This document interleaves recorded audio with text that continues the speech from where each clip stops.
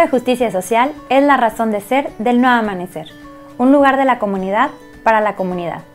Que con esta ideología, en 2004, nace el Centro de Atención Postural, de la mano de una voluntaria inglesa, Sarah Davis. Desde entonces, se ha caracterizado por ser el único centro especializado en el país en postura, bajo la metodología inglesa de la clínica Chaley.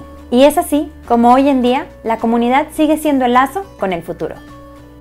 En mi escuela siempre es la emoción de cuando entras de que al nuevo ciclo no sabes qué vas a hacer hasta el primer día de clases, te dan el brief, que, o sea, el proyecto, que es como esta introducción a. Mi laboratorio se trataba de hacer un proyecto con el CAP en el que cuatro equipos diseñaron una silla de ruedas con un enfoque distinto.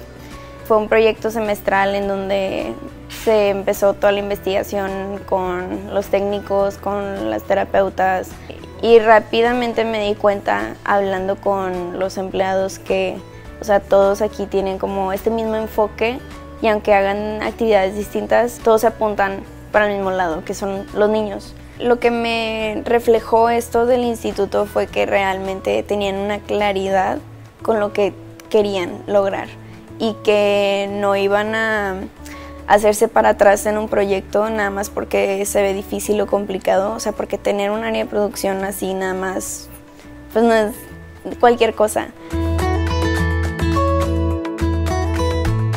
Por ejemplo, yo como diseñadora industrial, o sea, alguien que no conozca el tema diría, pero tú cómo ayudas ahí. Pero en realidad creo que todas las disciplinas tienen puerta abierta aquí, o sea, para innovar, para, para crear cosas nuevas porque también esa es la naturaleza del instituto. O sea, el instituto, bueno, lo que aprendí yo aquí fue eso de que realmente nunca me dijeron que no a ninguna idea. Siempre fue como, ok, vamos a ver cómo lo hacemos y se planea y todo, ¿no?